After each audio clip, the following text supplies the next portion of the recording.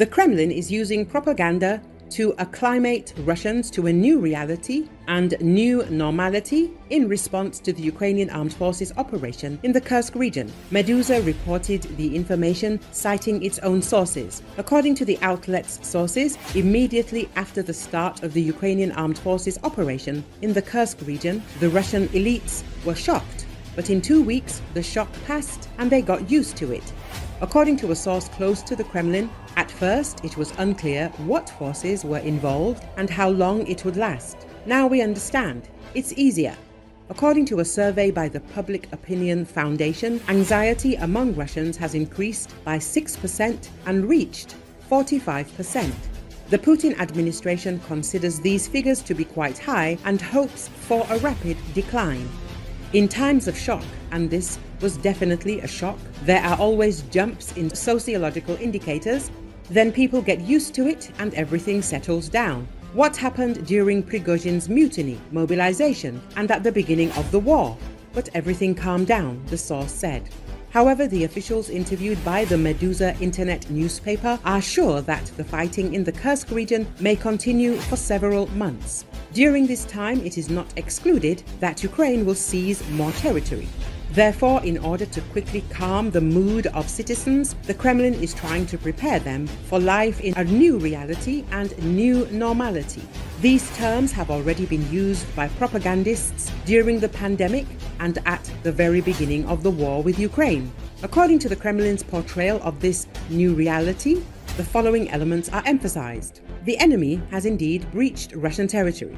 They will ultimately be defeated However, the reclamation of these territories will require time and Russians should be patient.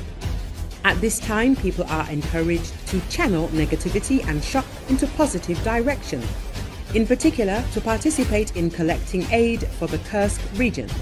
Putin's administration has already recommended doing so.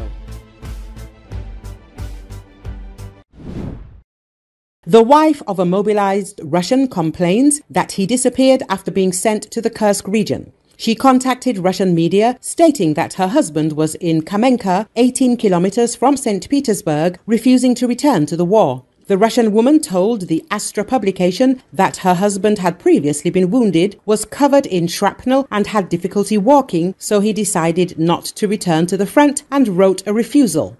No one was going to let the occupier refusenik go home.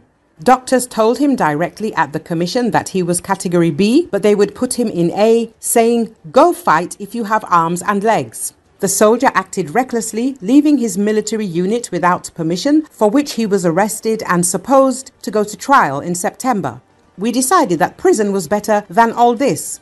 The occupier's wife admitted to the media. The Russian army command did not like the adventurous plans of the soldier who refused military service. He, along with 150 other soldiers, was sent by plane to the Kursk region. Already at the training ground in the Kursk region, the commanders were more familiar with the situation and the power of the Ukrainian armed forces offensive, giving the arriving occupiers the most valuable advice in their lives. If you can run, run, the officers emphasized. 37 occupying soldiers took the advice and fled, wearing bulletproof vests and carrying machine guns, but were caught by military police. The soldier in question was shocked in the neck with a stun gun, and another occupier was tied to a pole. Then the objectors were sent to the Shebekinsky district of the Belgorod region, after which he stopped communicating.